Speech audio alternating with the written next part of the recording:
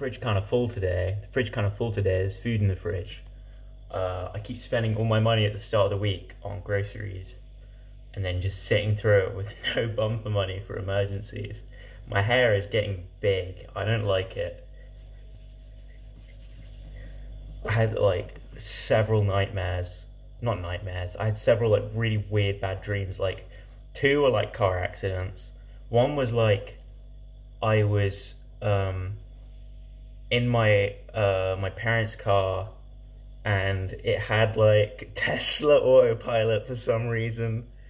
Um and it like crashed into the river and I woke up and I just kept waking up from nightmares and going back to sleep.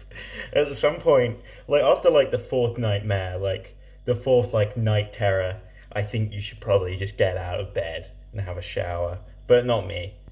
Um so that's that was one of them was really weird. It was like I was I was I was like in front of like my secondary school like streaming my desktop to the whole school and I was getting made fun of for my uh, desktop shortcuts, which is just something that would never happen. And I think if I, I'm I'm pretty damn good at laughing myself. Anyway, someone just got up. Who got up? Did. Why are you making that face? I'm doing my fridge vlog.